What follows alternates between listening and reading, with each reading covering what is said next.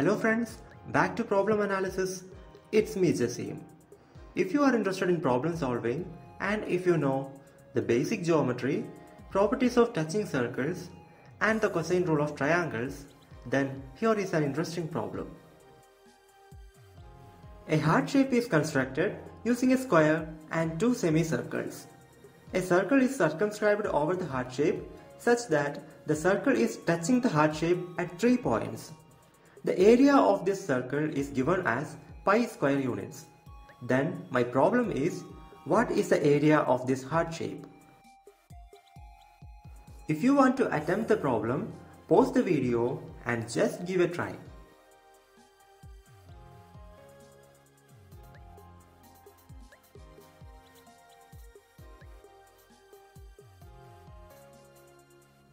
And the solution is right here. First, we have to analyze what are given in the problem. First of all, the heart shape is constructed using one square and two semicircles. Secondly, the circumscribed circle has area pi square units. And finally, the bottom corner of the square and the semicircles are touching the circle. Now remember what is our aim of this problem. It is nothing but to find the area of the heart shape. This is the structure of our problem, so always keep in mind. In our diagram, consider the heart shape. For the semicircles, let the radius be r. Then, for the square, the side length is 2r. And the area of the heart shape will be sum of areas of the square and the two semicircles. Note that the two semicircles together form a complete circle with radius r. Therefore, area of the square is 4r square and area of the circle is pi r square. Hence, area of the heart shape will be 4r square plus pi r square equal to 4 plus pi times r square. Then, our aim is to find the value of r. Now check for any numerical data which are immediate from the given information. It is given that the area of the circumscribed circle is pi square units. Suppose the radius is a. Then area is pi a square which is equal to pi. That is a square equal to 1 and hence radius a equal to 1 unit. Now we have to note an important property of touching circles.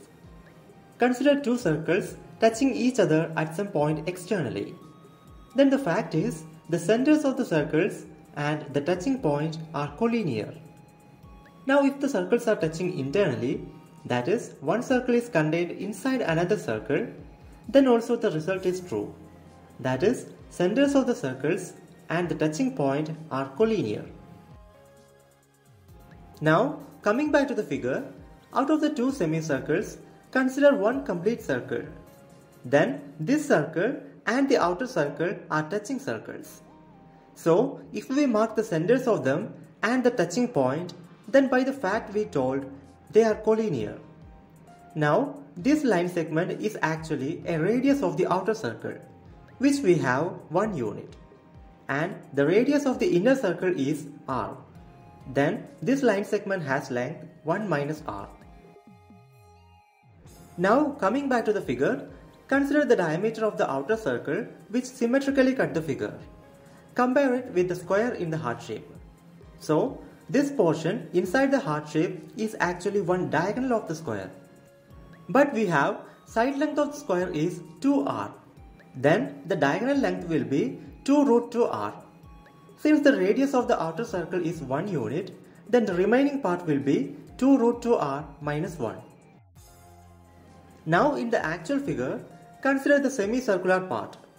Then this length is the radius of it which is equal to r. Now in this figure, we got a triangle with side lengths are in terms of r. Consider this top angle. Comparing with the square, we can see that this angle is made by the diagonal of the square. So it is 45 degree. Now come back to the diagram and consider this triangle alone. In order to find the value of r, we need to note an important rule in geometry. It is called cosine rule or also known as Al-Kashi's rule. For that, consider a triangle. Suppose the three angles are denoted by alpha, beta and gamma.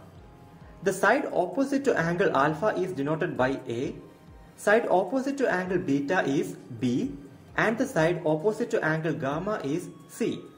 Then the cosine rule formula is cos alpha equal to b square plus c square minus a square whole divided by 2bc.